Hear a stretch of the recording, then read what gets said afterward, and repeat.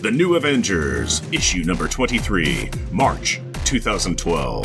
Hashtag Avengers. The shocking conclusion to the Dark Avengers saga. www.marvel.com. Brian Michael Bendis, Mike Deodato. Marvel!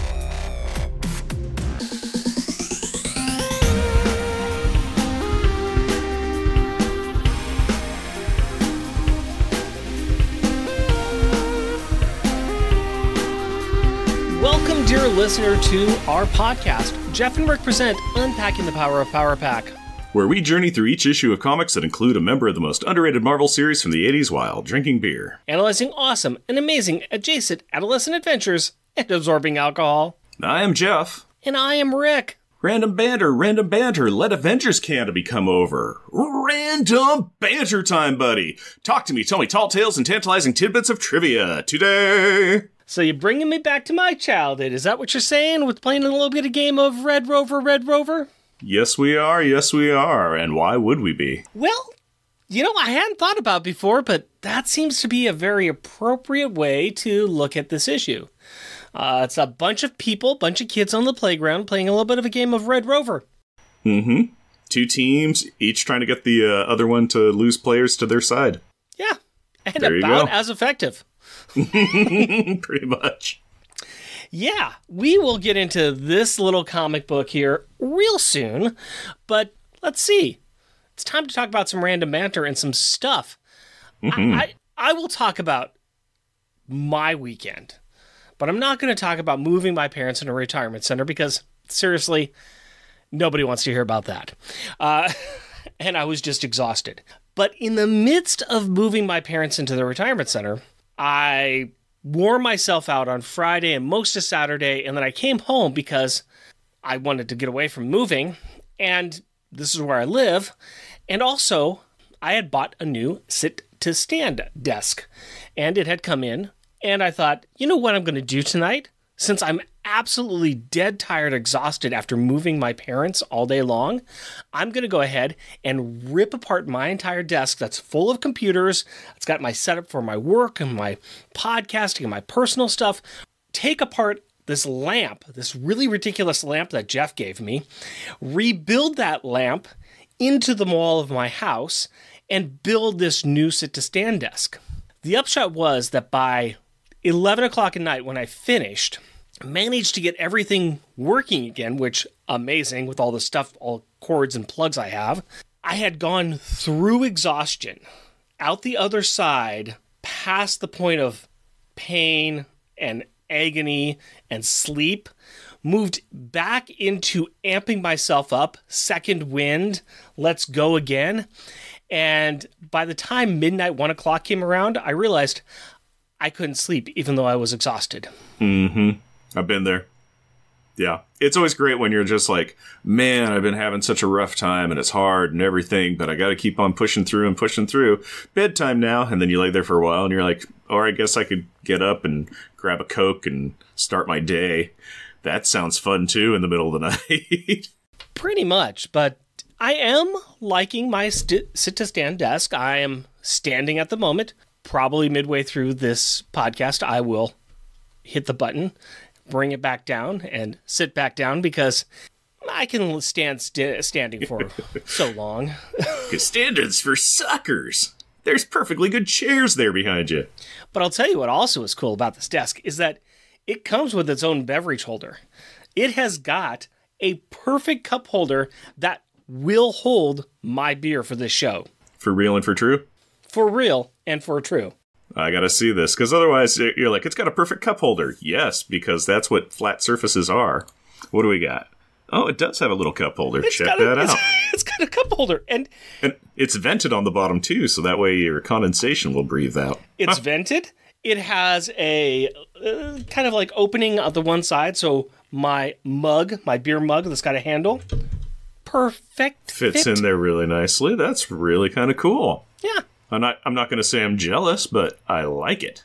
Oh, you can be jealous. I usually am of many, many, many, many things. So I'm pretty stoked about that. Pretty happy about that. I think that's uh, pretty cool. We'll see how I like it so far. it's working well for me. Mm-hmm. Good deal. What uh, prompted you to make the big switch? My wife saw me doing all my work as a supervisor where I was just sitting at my desk all day long Oh, yeah. and not moving. And she said, Uh-huh. Hey, that's not good. I want you to spend a little bit more money than we really have right now to buy a sit to stand desk to get you to move a little bit while you're working. That makes sense. And also, she's like, Your hunch is really coming in really nicely. Your fetid cavern dweller hunch. She said, I've got a hunch that you're out of shape. She's a clever lady. I did make one mistake, and I didn't realize it until I finished building. I really thought that I ordered the longer one, but somewhere in the process, I did not. So this is a little shorter than I wanted it to be. My wife said, That's okay. I'll take that one. You can order another one for yourself. Hmm, okay. Because if you didn't have the money for it the first time, Well, she also kind of looked at this and said, That's kind of nice. I think I want one. it's the new hotness. It's sleek and sexy. I gotta have me that. Eh.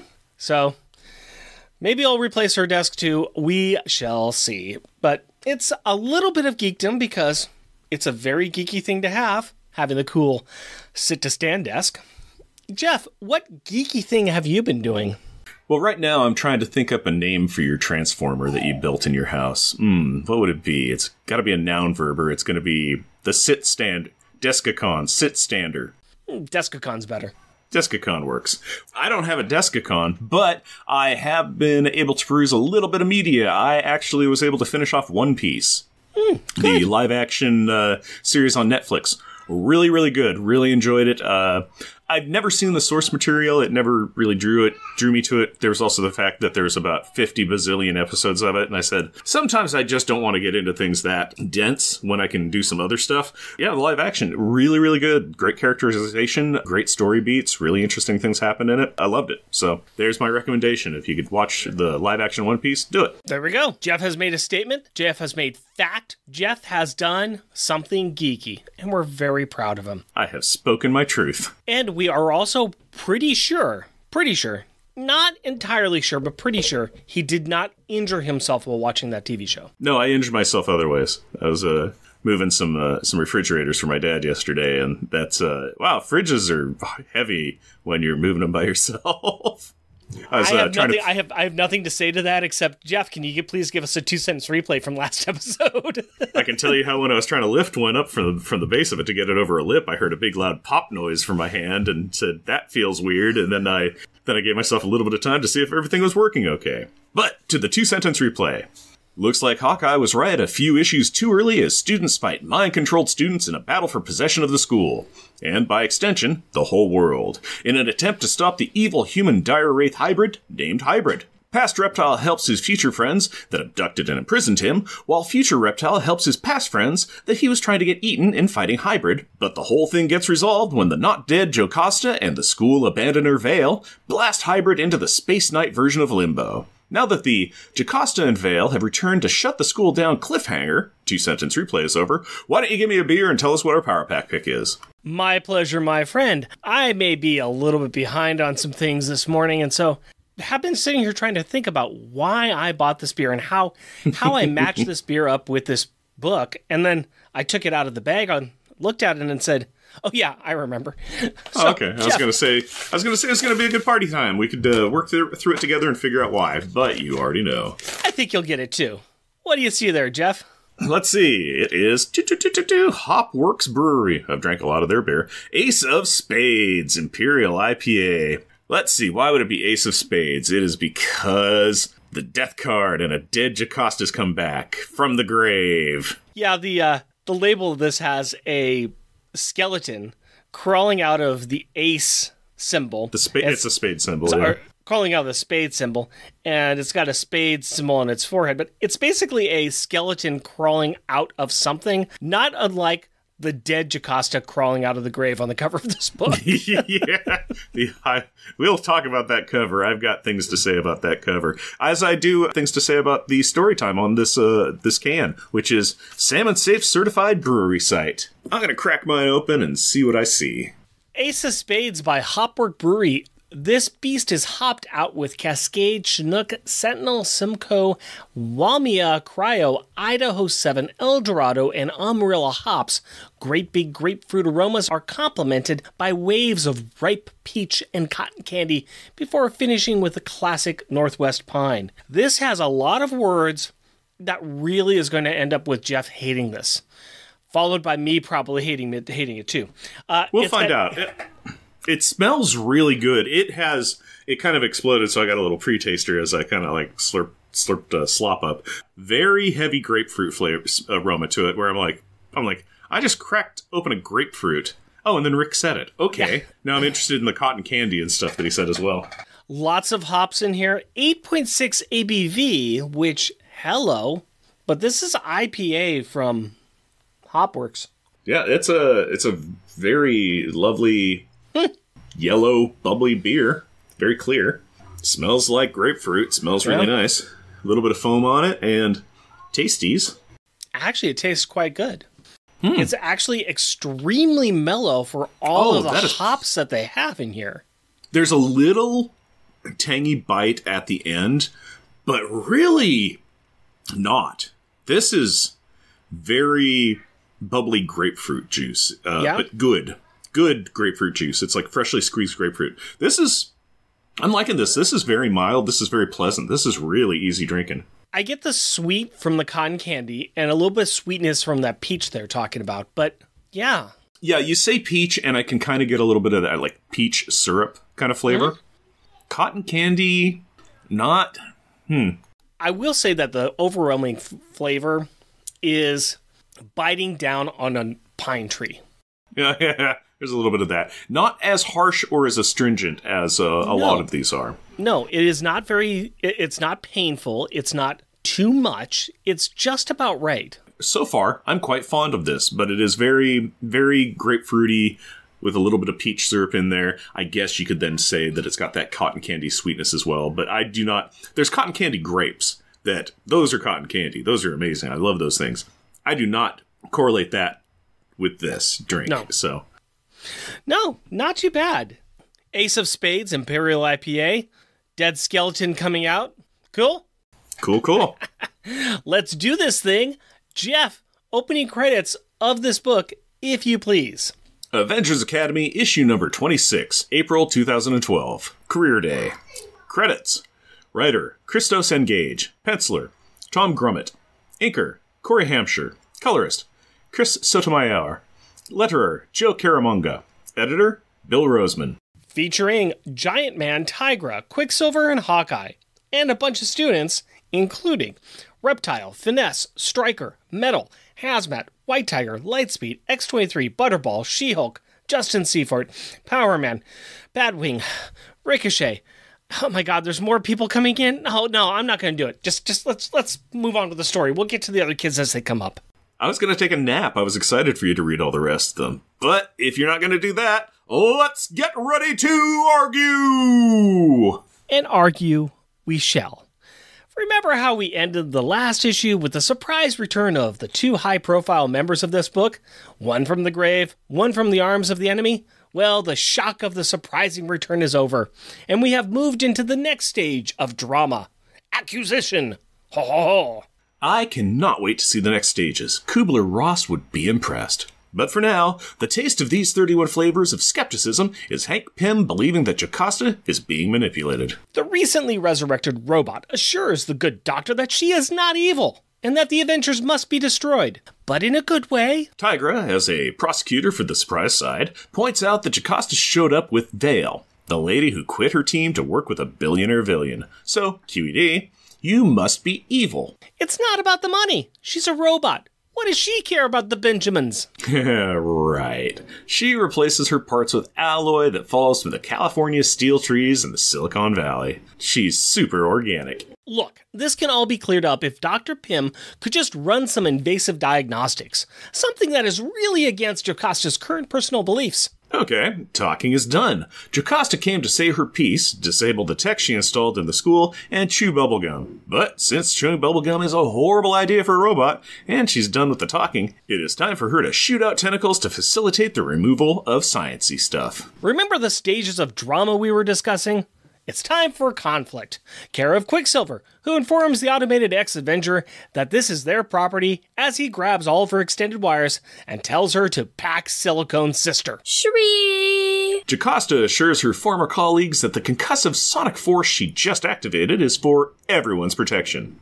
All is well. Or, at least all will be, after she shuts down their Netflix account and scrubs their Steam library. Ha! Whatever. Hazmat blasts Jocasta and Quicksilver starts to run circles around Vale to contain her gas form, which means that it is time for the away team's reinforcements to arrive. And so, the BC LLC shows up. Uh, who the bleep are these bleeping guys, Rick? I am glad that you asked. The Briggs Chemical Limited Liability Corporation is a group of like minded, well paid, augmented humans who want to provide an alternative to the Avengers. I would like to rephrase my question then. Who the bleep bleep are these bleepity bleeping guys? You got Jeremy Briggs, the head honcho, Hardball, who creates spheres of solid energy, Prodigy, who has the suit that gives him super strength, speed, and flight, Komodo, who has a lizard form, and Cloud9, who can control clouds. Wait, weren't these kids part of Tony Stark's initiative? Tony's ideas. The gift that keeps on gifting. Okay, new players on screen, Marvel Comics. Insert obligatory fight scene here. Done and done. Ah, let's get ready to. Wait a minute. Reptile dinos up and tells them all to stop it. Just stop it. Look, Misters and Mrs. Pajama Punch Party people, I've been to the future and I have seen stuff. So everyone, just stop. Reptile, what are you doing? We came here for a pointless fight. We want a pointless fight. No! We told people this would be a talkie book and a talkie book is what we're bringing. Okay, so we have an impasse. Hank is not just going to turn off his adventure in teaching without a good reason. What they need here is a neutral party to evaluate if Jocasta has gone rogue. Alright, but here is her counter argument. You find this alternate arbitrator, and if Jocasta has not been switched to evil mode, then they get to do a free TED Talk right here on campus to recruit students to their side. Well, this seems like a horrible idea. Um, what do you mean? How so? Let's put the honorable ideals of being an Avenger up against capitalist enterprise that promises income and security to a bunch of teenagers and young adults. Probably the only two questions being asked at the end will be How big is my room? and How many zeros are at the end of my paycheck? Leaving my cynical co host at the side of the Pacific Coast Highway for a moment, let's talk about this neutral third party. Hank first chooses Machine Teen, aka Adam, aka Autonomously Decisive Automated Mechanism, aka a teenage robot who has no clue what is happening right now. Jocasta, for some reason, declines to allow the teenager wearing athletic shorts to evaluate her processors. She would rather use a sentinel. Huh. Personally, I would think anyone that wants to use a Sentinel as a good v evil detector is probably evil. But that just comes from years of reading comic books where the Sentinels are evil. Also, the big bot is a little Avengers disassembled right now, but they can put it back together in a jiffy. In the meantime, the debris strewn ground is given to the evil corporation to make their pitch. So the bullet points of their Not Evil Corporation TED Talk are as follows. The Avengers don't think locally about global warming or diseases. How about using powers for advancing the world, not violence? Money and opportunity to do cool things. Avengers die, and sometimes they get a thank you card. Here, you get a paycheck. This is not secretly an evil group.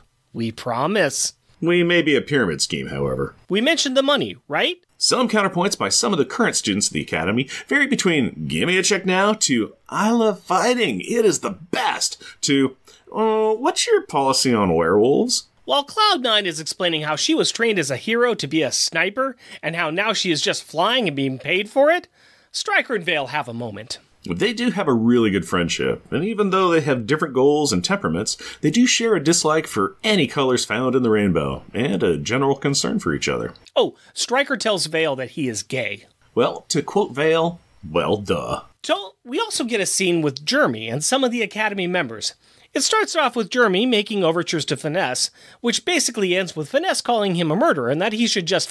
oh, okay now, remember, family friendly show. And so, on a lighter note, Hazmat shows up. Irony. Jenny is looking for a change. specifically a less toxic her. Literally. If Chemical Boy can make this happen, she wants in, but she also wants her boyfriend Metal to come as well. You mean the guy flexing his injured arm for the smoking hot Wolverine over there? Yeah, that guy. he is not too keen to leave at the moment for some reason, but maybe if he had a reason, maybe if the evil billionaire could run some tests on some of Metal's recently cut skin, maybe something could happen? Maybe? Maybe something like a bad idea. Speaking of which, it is time to rebuild a Sentinel. Jocasta and Giant Man do some rebuilding and chatting. I know, shocker. And Hank tries to figure out why. Why she would leave this team, and their drama, and their history of bad ideas, and blowing up robots. Huh. Funny you should mention that. She feels she has been held back, not able to hit her true potential as a sentient being.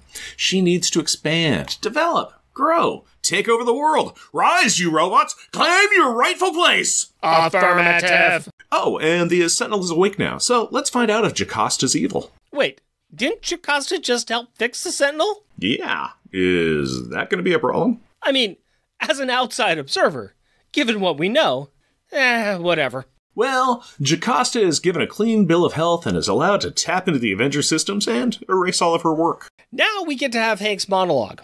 Let's see. He believes in the Avengers, and they have seen him at his best and worst. He has loved and lost and loved again. He has been the hero, the villain, the man in the van, and been depicted doing very adult things in comic books. Wait, what? He is going to allow everyone the choice to make up their own mind, but he wants these kids to know that the Avengers are cool and great. And if you stick around long enough, you may be able to be optioned for movie rights. And those MCU bucks pay dividends, my friends. Since we are monologuing, Reptile wants to give a future report. He saw his team come back together to resolve their problems from the past, and hey, they can beat everything if they are together. So can't we all just get along? All right then. Here's the deal. Hank will work together with this new corporation, but only if it's run by Jocasta the good robot that he totally trusts, and not the villain billionaire. I mean, that would be the choice I'd make too. Yeah, but you also like to eat a bowl of Skittles and milk for breakfast. Hey, I need to taste the rainbow to make it through the day, okay? So, who is staying and who is going? Well, let's see. On the pack your bags and move away team are, hmm, uh, a couple of the background characters like Rocket Racer and Machine Teen. Oh, and and Hazmat. Yeah, she really wants to be normal. But more importantly, she told Jeremy that she would join him if he fixes her boyfriend up. So she feels like she has to go for Ken's sake. But Jeremy turns her down. He wants her to stay right where she is, which is where her boyfriend is. Plus, he promises Pinky promises, Pinky swears, crosses his heart, hope to die, that he will work on figuring out what's up with Metal's metal. Because only good can come from it. Oh, of course. And with a final terse message between Jocasta and Hank, the Not Avengers Academy floats off on a cloud. Let's roll back to the future to see what shenanigans those no longer kids are getting into now in the future. Well, Reptile is still comatose, but some voice off screen promises that he will work on curing him. Meanwhile, great news, everyone! The actions in the past have increased the probability of things aligning with where they are now. Everything's going to work out just fine. Trust me. Trust who? Future Old Man Giant Man. That's who. Well, happy day.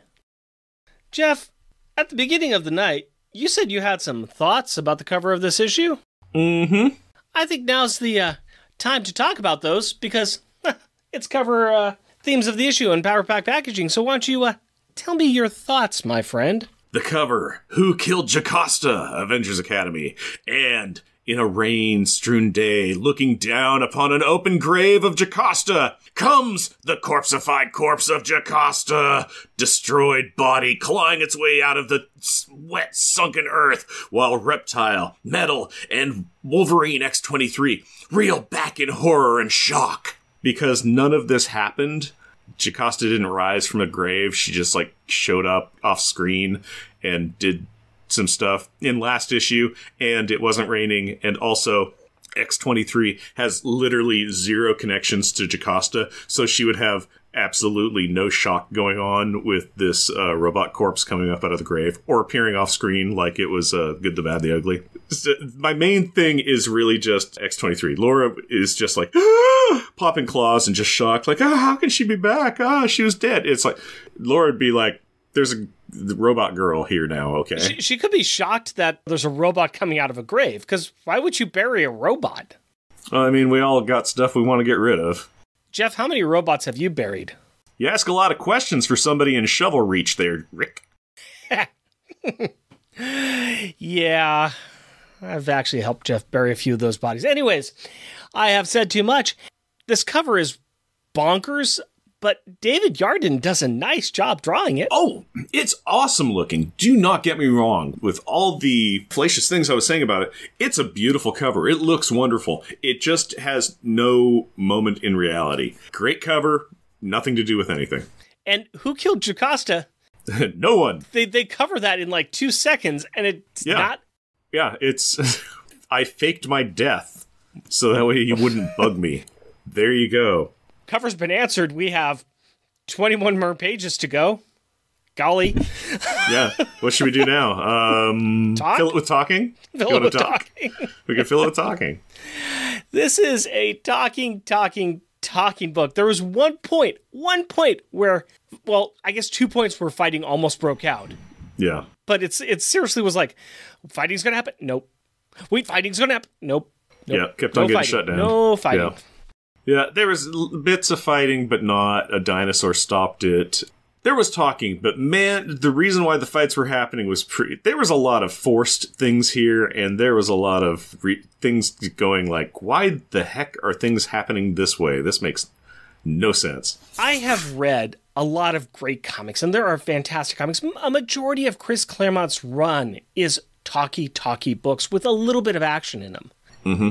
Those are great masterpieces. And this is still a good book. I think this is fine. My biggest problem with it is just that it's it's a lot of monologuing. It's a lot of people trying to convince each other that their team's a little better than the other team, and at the end there's not much that happens. It it kind of bring me back brings me back to the Hickman run, the Hickman things that we were talking about before.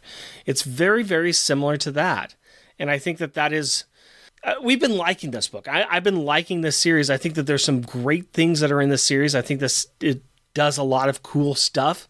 This is just a one issue where it's it just feels a little disappointing. Yeah, a little disappointing, a little forced, little kind of just things are occurring because they're occurring. There's a whole lot of things going on here with the talking too, where it's like, here's a post, you know, a postulate that was made, and it doesn't matter what the answer is, it's going to be wrong.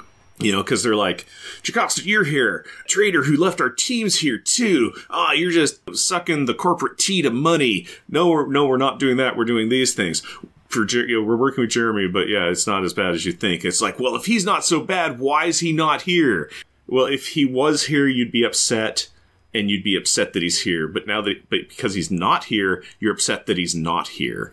Yeah, there's a lot of things like you know, like that going on, and things like Jeremy coming in and going, "Hey, the Avengers are an outdated model. What are they doing about global warming? Why aren't they helping kidnap victims and you know, child care?" It's like, well, that's like going to an electrician and telling him about the plumbing work you want done. You know, it's it's you're forcing arguments that aren't what the argument is about. So Yeah.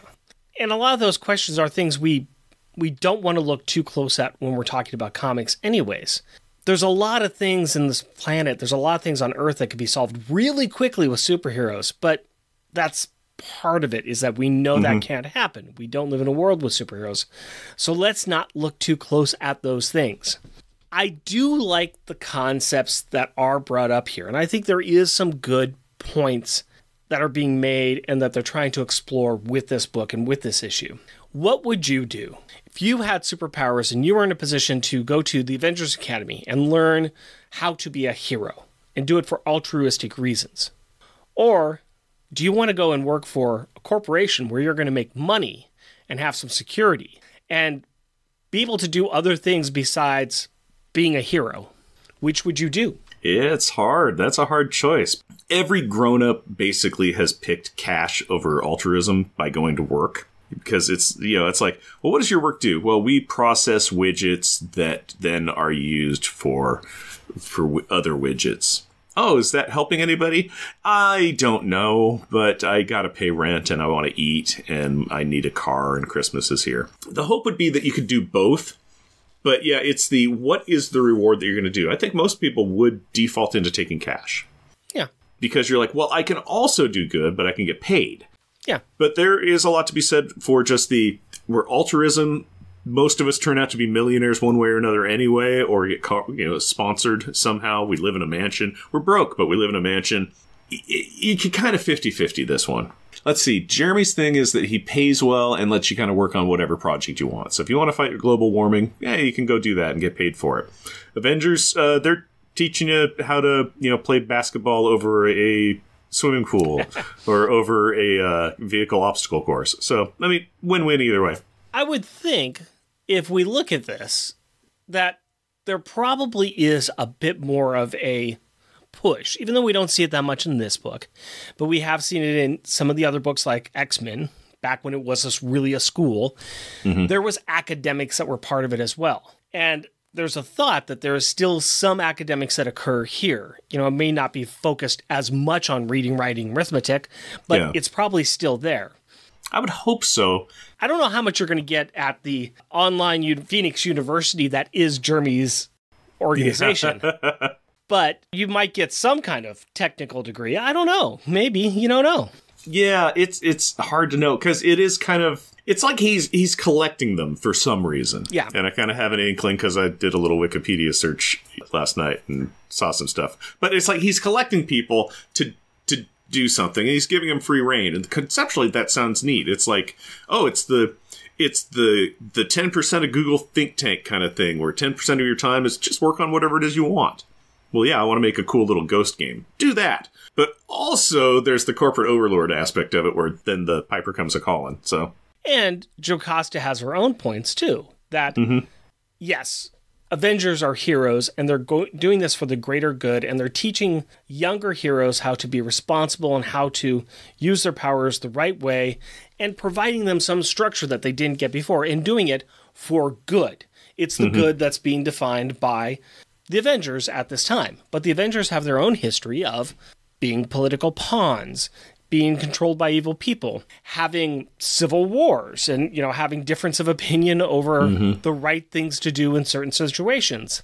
Ultron, bad robot, uh, blowing up robots. This is the way it goes. I, having any kind of institution that follows a type of moral code is only as good as that moral code is and the people that believe in it. Mm-hmm. Organized religion. Name your different practice. Mm-hmm. You will have faith in that organized religion, but you could probably also find places in most of those that they have done bad, bad things. Okay. so, mm-hmm. so we have two political parties, and both political parties in this country believe they are doing the right thing. Members of the other political party think they are evil incarnate. Good is in the eye of the beholder many, many times. so your view of what you think is the right thing to do is really going to depend upon the day and the situation you're facing. And I think that's part of what Jocasta is getting at. It's hard to follow an ideal when that ideal can change depending upon who's being the leader. If mm-hmm. you are following a corporation, theoretically, you're held to kind of a broader base of people who are going to make those choices.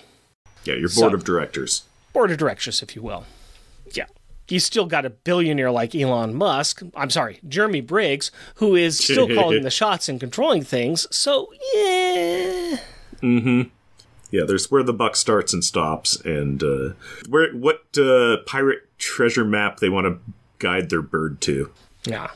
This book is really confusing because it brings up a lot of cool ideas and there's a real good fight here. I just felt a little bummed out at the end that nothing changed. Oh, darn, they lost a couple of the background characters. Yeah, that they basically introduced that I- issue. Yeah. You know, Rocket Racer, I'm like, I don't think I've seen Rocket Racer here before. Machine Teen, I don't think I've ever heard of Machine Teen. You know, there's a lot of that kind of going on. It's like, oh, we lost two of them. Uh. But I like Reptile, where he's like, hey, this could go two ways. If you guys, anybody wants to come back to us, you can do that too. Everybody I said would have no. been more interested if there was an entire swap going on, or that the, that Yeah. one or two members of the other team said, you know, hang on. I'm going to show you how how easy it is. I'm going to leave Jeremy's side and I'm going to hang with you guys. You got something there, and then maybe have maybe have Hazmat go off to the other team Mm-hmm. and not have her stopped. Yep, could But- do a, foreign exchange students. Something, something. Yep. The big problem that I had with this was just Jocasta and Veil coming into the school and going, so we're shutting you down. You got to go away now. And it's Yeah. why? Well, we have a philosophical difference going on, so you guys need to go. And it's like, oh, this is problematic, and also the worst way to do this. Yeah. There's a lot of this is the worst way to resolve this things going on. So Speaking of worst way to solve things, why would you trust a Sentinel rebuilt by Jocasta to be your arbiter of good and evil? because I really like Jocasta. Except for sometimes, and this might be one of those sometimes. yeah. I'm not going to trust the teenage machine man. I'm like, maybe not, maybe. I also think that he is so outside of anything and mm-hmm. he's functioning right now. Yeah, maybe it would still be kind of one of those things like he plugs in and Jocasta just runs him over. Okay. Mm-hmm. but at the same time, like, oh, Jocasta's just helping fix the Sentinel. The Sentinel says, you good. Yeah, you're good. You used your mechadendrites, so I will use my mechadendrites, and I will say, yeah, you're you're totally clear, robot mas- mistress overlord. I mean, we already know that the Sentinel is still a Sentinel. It's just that Juston has rerouted things, so he's not going to kill mutants, but he's a Sentinel. Mm-hmm. so, Not the swiftest on their feet thinkers kind of thing. So it was the neutral party that they both decided on, except I want to believe that Jocasta just helped rebuild the Sentinel and didn't like do any nefariousness with it, but who knows? We can't we don't know now. no, and and I just think that yeah, it's a whole lot of a mess at certain points. There's also the aspect of have you ever heard of a double blind survey? Instead of just going for one thing, you get maybe two or three. Maybe do a taster's choice of just checkings. So, you know, get some consensus on this. Is there is there anything else that you are interested in? Man, I love beer, but we'll get to that one later. You mean in regards to the story? Yeah. No, I think we kind of really covered it pretty well, honestly. Can you think of anything else? Uh, no, I think that's about it. I think that we can get to the rest of this book as we talk about our favorite thing of all time the extra stuff, the wonderful final thoughts, including the Gallery of Greatness.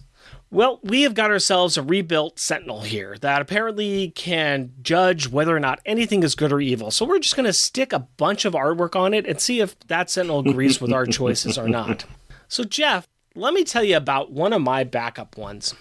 Mm-hmm. And this is just a page in. They're all talking. Jocasta's come in and said, You know, y'all evil.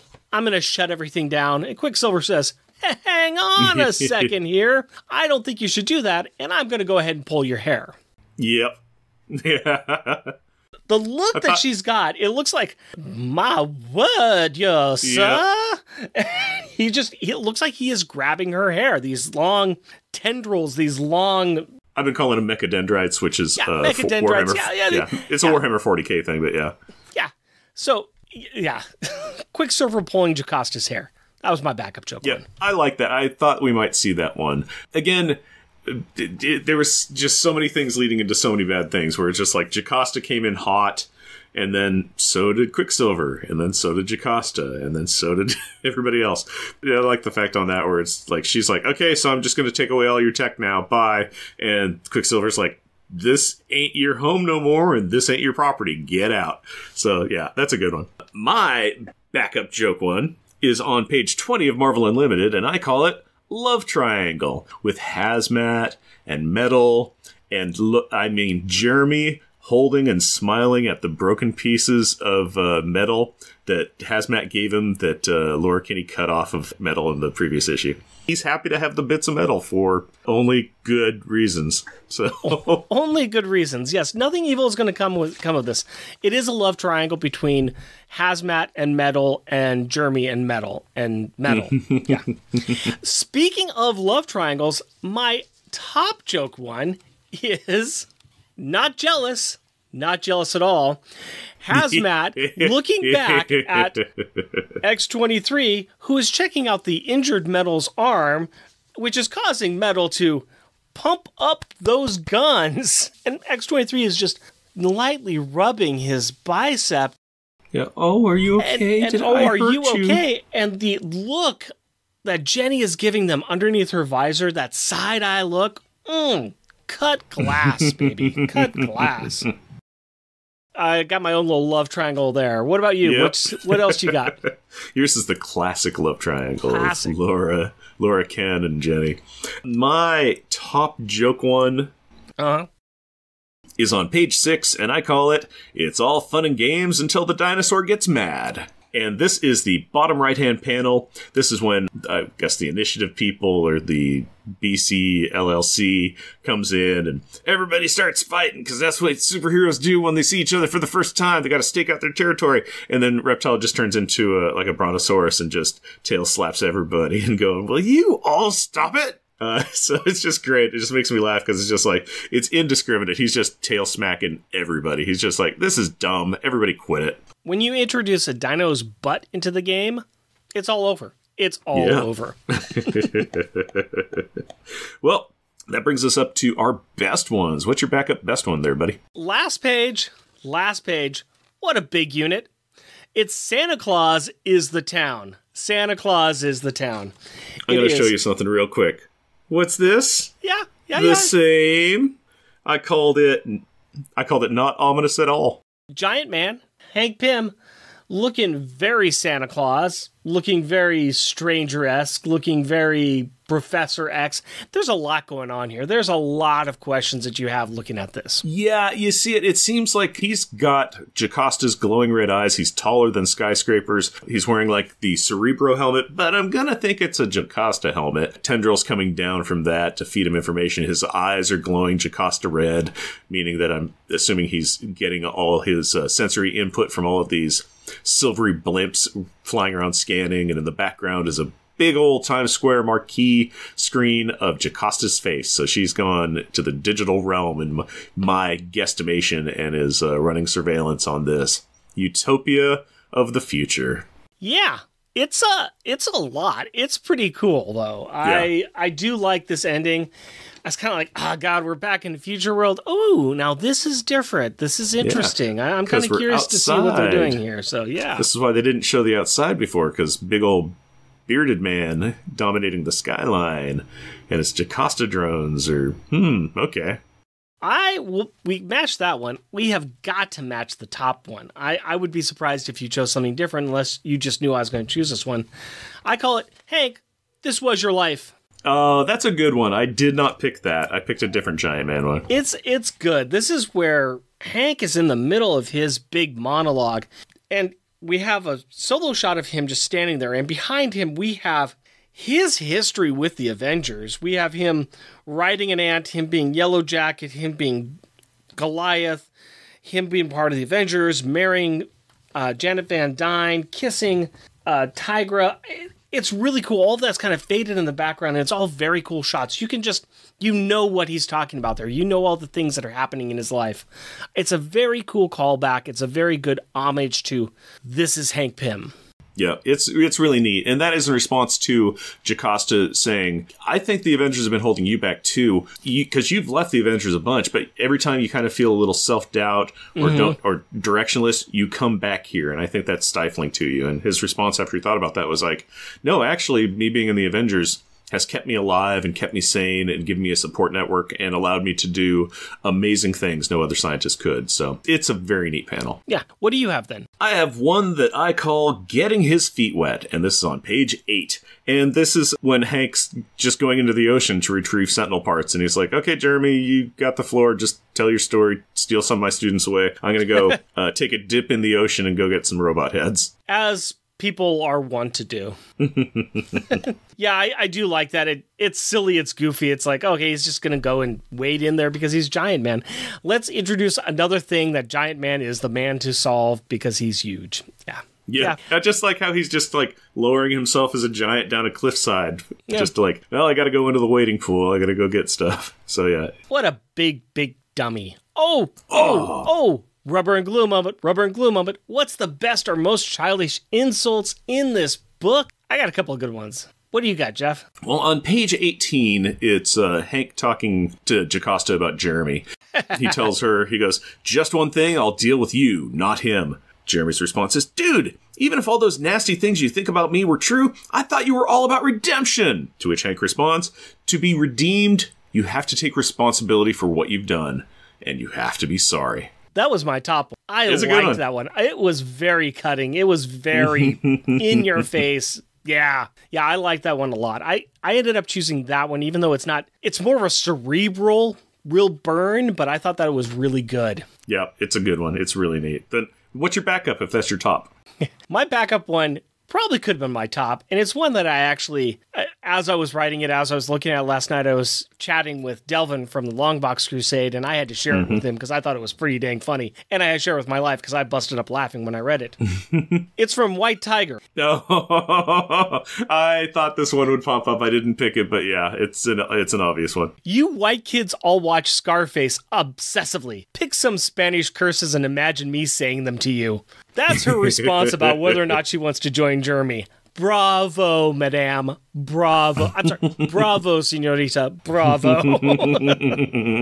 it's a good one. It's a really good one. What is your top one? My top one, it when the Jocasta Vale Quicksilver fight starts going on and Maddie's all, no, stop. You don't have to do this. And then off screen you hear, but they do, Maddie. That's the whole problem. When you think you're a hero, everyone else looks like a villain. Yeah. I just like that. When you think you're a hero. Yep it starts putting people into camps. So yep. everybody else is a villain if you're not on their team. So yeah, I just I thought that was pretty great. Pick some Spanish curses and imagine me saying them to you. yeah, it's gonna. All right. Parent of the Year Award, Reed Richards Award for Good Parenting. Who was the good parent in this one? I think we got some choices. I mm-hmm. think we got some keep, choices. Keep in mind, Reed sometimes a good parent, sometimes a bad parent, so yep. you can go either way on this. Which I'm way you going? Choose good. Mm. Hank gave the kids choices. Yep. He he said, "I will let you all choose. You'll hear the options. You can make your choices." I appreciated him doing that. I thought that it was a good use of not only leadership but also parenting. You're taking care of the kids. You've given them everything you can. Sometimes you got to let them go. Sometimes you have to let them make the choice. If you force them, it's not always going to end well for you. So I think I, I appreciated that he did that. Okay, bold choice, a good choice. I can see where you uh, where you came up with that, but allow me to give this one as an alternative. Okay, stick with me, Hank. yeah, bad? same reason. Oh, okay. no, for good. No, for good. He was great. Right. I fully agree. It just it, repeat all the stuff uh, you just said, but in a deeper voice. Done. Let me throw this one at you. Popular and shunned. Characters the best and worst. The worst, Hank. Oh, for real? You can, yes, for real. You can be wow. a good parent in this book mm-hmm. and be the worst in this book. I am not going to let him get away with leaving the choice of whether or not Jocasta was good or not oh, by allowing okay. the Sentinel to be the judge. Right, gotcha. I'm sorry, everything that he did in there, and then just saying, well, I'm going to go ahead and let the Sentinel choose. Don't. I, I just, I could not I can't divorce myself from that logic right there. Okay. He was a great parent. His choices with the kids, fantastic. His choice on dealing with Jocasta, horrible. Horrible. Who's your worst? I just real quick with the Hank thing. I do like him when he was talking with Jocasta, and he's like, "Hey, is is this is this about us? Is this about you and me, or is this about my relationship with Tigra?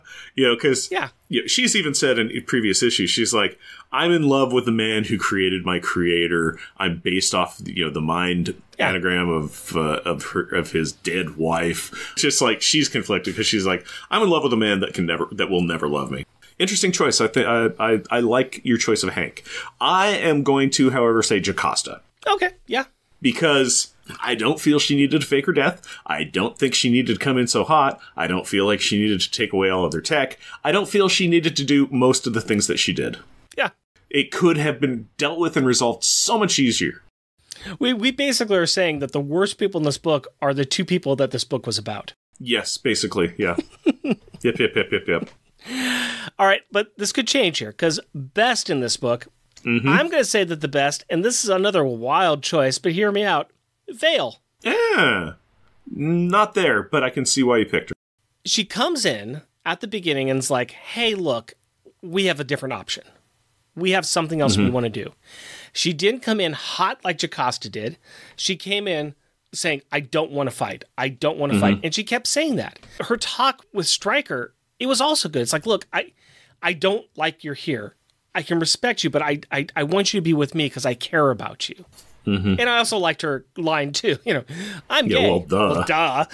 Yeah. I just I liked how she interacted with everybody in this book, and I thought that it just was nice. She knows that she is going to be seen as the villain now. She knows that she's going to be coming in here to people that are very angry at her still, but she came in peacefully and saying, "Look, I just want to talk." I'd have to relook at some panels, but I don't think she ever fought anyone either. I think, No, when the fighting was happening, she had her hands up. yeah, she was just like, we don't have to do this. I'm not, you know, mm-hmm. it's like, I'm not part of this. And even later, when it's just like, she's like, I, I just came here to say my side of things, and that's it.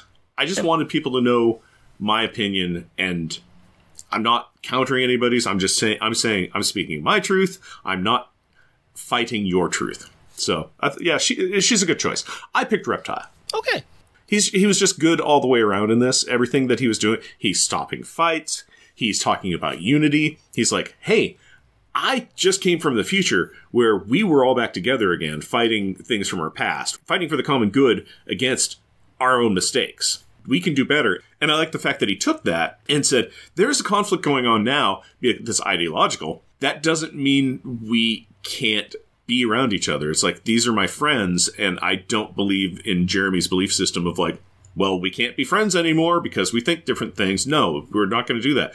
We can commingle, we can interact. We're two different teams, but we can still be a team. So I just uh, really liked his engagement with everything. He was Yeah. a very positive and uniting influence. I, I think we both had the same choices, just different sides of the coin. I think Veil and Reptile kind of were the same parts of that. We made the same choices on both of those when we really think about it. The people that were trying to really push the issues didn't like them. People that were, look, we just want to just get along. Let's get along. Much better. Let's take a look at this issue against all the other issues. We are up to grand total of 51 issues, so we need to add this to our list. And this starts off at Month of Mourning with Fantastic Four, spot number 18, Runaways number 6, True Believers number 6. That's where, uh, ooh, the kids defeat Ultron. Hmm connection. Spot number 37, Darkhawk crystal acts up and ruins Chris's life. That's kind of like Jeff on most days when his crystal acts up, it ruins his life. That's from War of Kings, Darkhawk number one. And of course, at the bottom, What Lies Beneath, the loner story. This is not like that. This is still good issue. It's just a lot of talking. Yeah, what's the talkiest issue we have in this list? Hmm, probably somewhere in the FF run 44 to 47. There's a lot of talking going on there. This is true. There is a lot of talking. So, yeah, 45. Old Atlantis destroyed and Reed comes clean with Sue. Sounds of War. Well, let's let's just start here. Do we think that this is better than Atlantis being destroyed? The sounds of ideological conflict versus the sounds of war. What are we thinking? Yeah, that's actually about the right spot. Right below that, we got 27 minutes. That's where Doom makes his sacrifices while the alt Reed fries. Actually, that's that's kind of cool. I like that one. the bridge, the kids fight the Celestials in the Council of Reed's universe. That was should have been much cooler than it was. It really needed to be so much better than it was. I agree. I like this issue. There's it just is a lot with very little payoff at the end. There's some Yeah. cool questions that are asked, but the payoff is like, eh, a couple people left. Sure, there's probably other things that are going to be going on. I think that this might work as the new number 47. I'm okay with that. It's a little low, but I think that it. I think we got more good things that are coming. Yeah. Well, that just shows that we've had uh, been reading a lot of good issues. Yeah. All right, all right, all right. That means that we need to talk about beer. One of Jeff's favorite subjects in school. Hmm. Uh, final thought on Hopworks Brewery Ace of Spades Imperial IPA, 8.9% ABV. We're drinking a tree. I I don't think it's a tree as much as you do. I am getting a lot more sweetness out of mine. It is sweet. I just Yeah. I notice a lot of tree flavor in there. So Okay. I'm I'm not having the tree flavor as much. I am noticing the 8.9 quite well. yeah, That's coming that. in and yeah, that's coming in and fogging the old brain a little bit, which is kind of fun. I enjoy this. I think it is good. The taste is fairly easy. It it's got some complex notes to it, but they're not crazy overbearing where they're uh, destroying your face or making you pause in your existence. This is this is a good 4 for me. I'm I like it. I don't know if I'm there at a four. I think I feel more like a three point five myself. Mm-hmm. I still enjoy it. I think it's good. It's not screwing up my face either. There are moments where I do get the sharpness. It takes me back a little bit. I'm a good three point five for me. Okay. Well, we got a 4 and a 3.5, but I know what's something that we have that is a total 10, and that's when you, Rick, talked to your 13 year old daughter, Carrie, about the issue that we just covered in the section we call Kids Perspective. So, Rick and Carrie, take it away. Hello, Carrie. Hello, Daddy. Let's talk about Avengers Academy issue number 26. What do you think? It's a comic book. Yeah.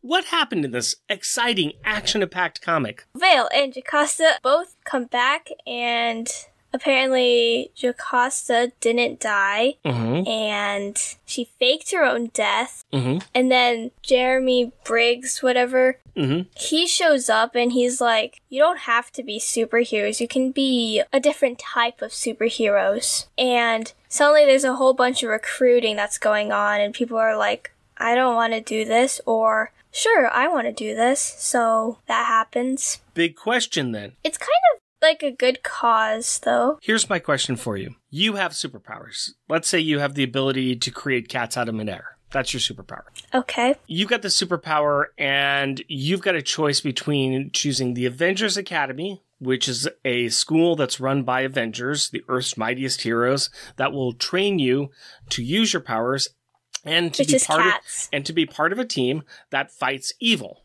like people who make dogs out of thin air. I don't know. Or you get to join a corporation who is going to teach you how to use your powers, work with you on developing ways that your powers can be used to either further society or to find some kind of capitalistic gain, a monetary gain.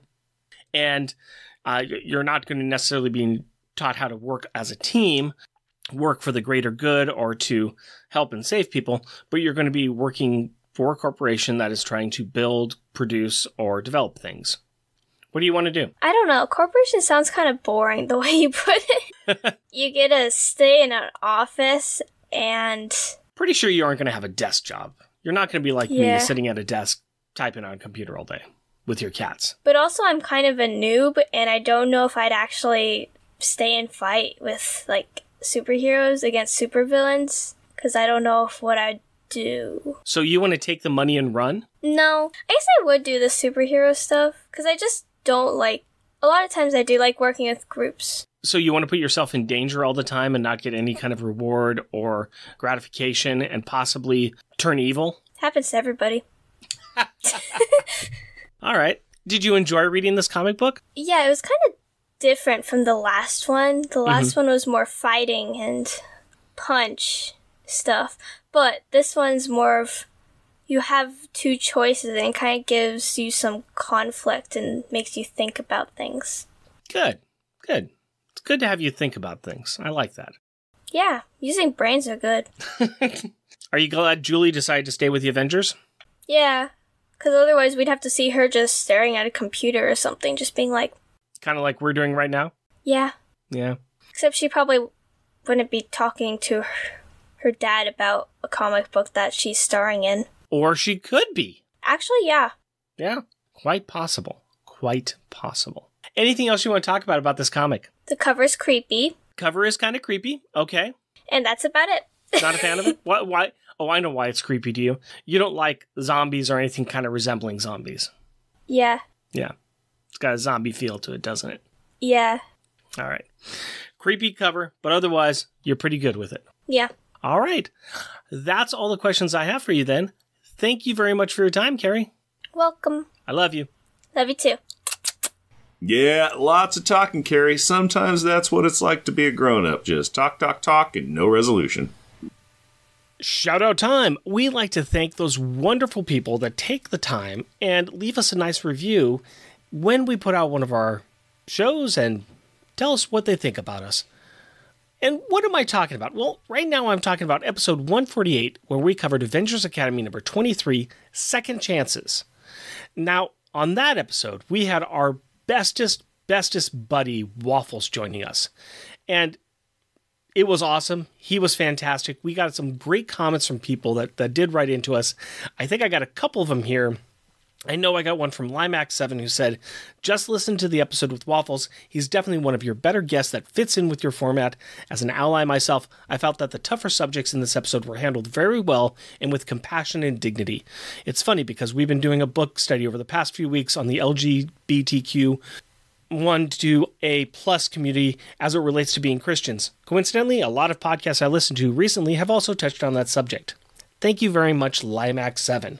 We also had some nice comments and notes from Jeremy Wiggins, Hoover Jeremiah, Jeremy Daw, Matt Birdsey. Rad Adventures, Thank you all very much for your comments, your thoughts, and I know that there are a couple other people that also posted some things too, and I'm sorry that I was bad about getting them ready for this episode. But I want to say thank you to those fantastic people that do support us through Patreon, including adorably astonishing and amazing Andrew Burns, cheerfully cheeky and charming Char Logan, challenging cheesy and chuckling Charles Gears, destructive and devastatingly delightful Damian Witter, dynamically dangerous and devious Doug Jones, intelligent, interesting, and innovative Isaac Perry, jesting, joking, and jovial Jeff Polier, just jealous and jeweled Jeremy Daw, muscly, mighty, and meticulous Matthew Birdsey. Mythical and magnificent monologuing Matthew Laserwitz, Steely, salty, and steamy Sailor Bear Zodar. sad and sickeningly silly Shag Matthews, Tyrannically terrifying and tame Tim Price. way way wordy and wobbly Waffles. Weird and wonderfully wacky Win. Next issue, we're going to cover Avengers Solo from 2011, issues 1 through 5. Extra credit. Be sure to check out Monthly Monday Movie Muckabouts, which I may be trying to reestablish some point in time on the Longbox Crusade Podcast Network. Yeah, bring that back. I like that one. It's a lot of fun. And we have some merchandise available on Redbubble. Go to redbubble.com and search for Unpacking the Power of Power Pack. Jeff and Rick Present is a bi weekly self produced podcast recorded in front of a live studio audience of a Hex Tool in Portland, Oregon. If you would like to interact with us through the magic of the internet, you can do so through Blue Sky at Jeff and Rick Present, our Facebook page, Jeff and Rick Present, our email address, Jeff and Rick Present, all one word, at gmail.com, or at our website, jeffandrickpresent.wordpress.com. Also, we got a YouTube channel at Jeff and Rick Present. And if you would like to help support our show, we are on Patreon. You can find us at patreon.com, Jeff and Rick Present, all one word.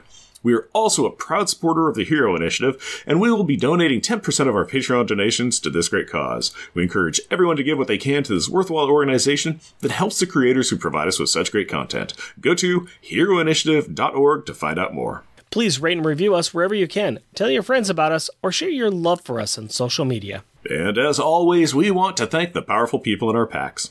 My wife Cindy and our daughter Carrie. My fiancee Hillary and our daughter Aurora. We love you.